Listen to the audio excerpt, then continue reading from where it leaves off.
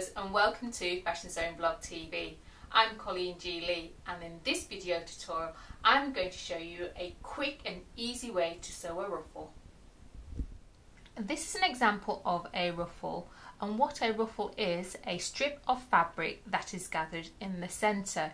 It can be any length and it can be any width. It's a very decorative feature that you can add to any part of your garment and this is what I'm going to show you.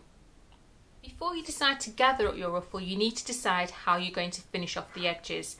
And there are so many different techniques that you can do. It's all about your sewing project. So do that first. And then once you've done that, the next thing to do is find the centre. That's if you want to run your gathering thread down the centre.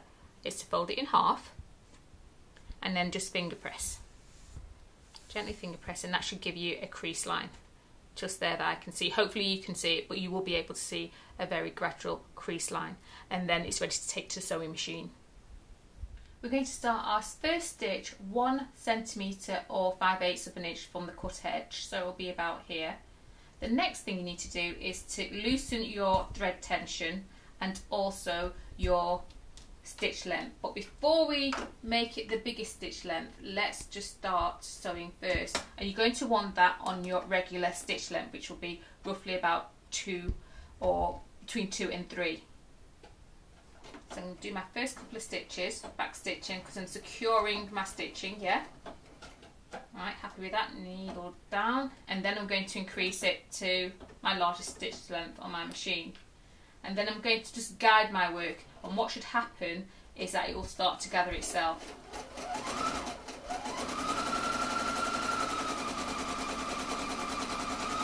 You're just gently guiding and then when you come to the end of your strip you want again to leave one centimetre or 5 eighths of an inch and then back stitch.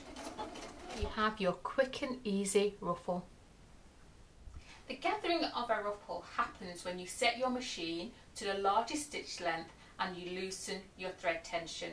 That way the gathering will just happen and all you need to do is just guide your strip of fabric through the feet. Don't forget to subscribe to Fashion Sewing Blog TV for free weekly video tutorials and if you have any comments or queries please put them in the comment box below and I will see you next time.